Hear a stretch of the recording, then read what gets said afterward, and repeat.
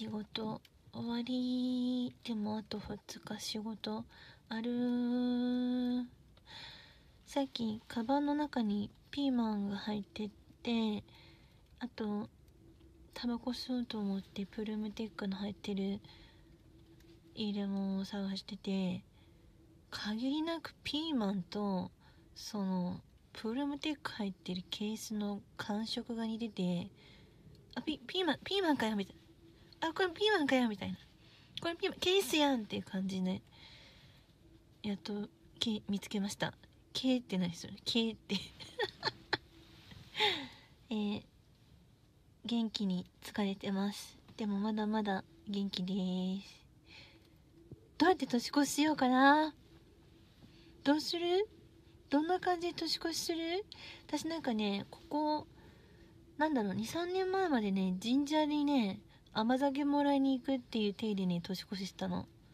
神社で年越しじゃない甘酒をもらいに行きたいからしょうがね0時に甘酒もらいに行ったんだけど今のそのおばあちゃんがうちに来ちゃったからおばあちゃん実家で年越しなくなっちゃって甘酒とかあとおみきとあとおしるこあと緑茶多分多分なれるぐらいもらえる神社だったのね。